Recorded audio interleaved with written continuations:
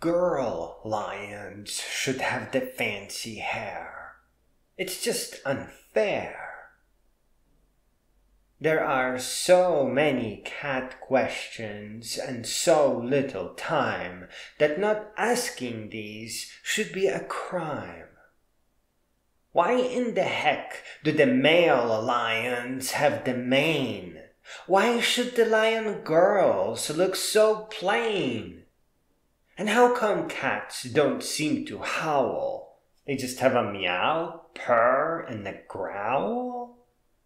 And why did cats invent the art of trying to trick us into thinking that they aren't incredibly smart?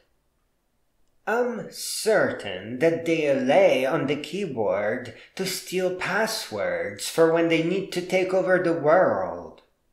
And I suspect cats think that humans are somewhat retarded and the lack of the tail is probably how it all started. Plus, tomorrow is Hunter's Moon, the cat's monthly holiday when they dance to their own tune. Forget about petting a stray, they'll scratch you up before you can say, hey. If humans are from Earth, Considering the cat's tune, the cats are most definitely from the moon.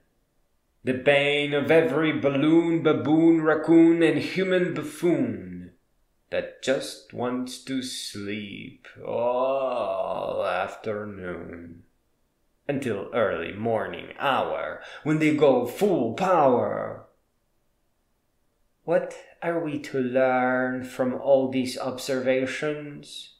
Well, cats are really well suited to run all the world's nations.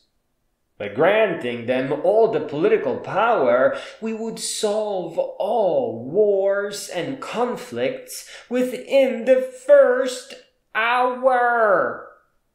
And after all the fighting and complaints would cease, Lady Lions could finally order some fancy wigs in peace. I, for one, prefer Lady Lions over Democrats. But I wouldn't mind if the world was ran by house cats.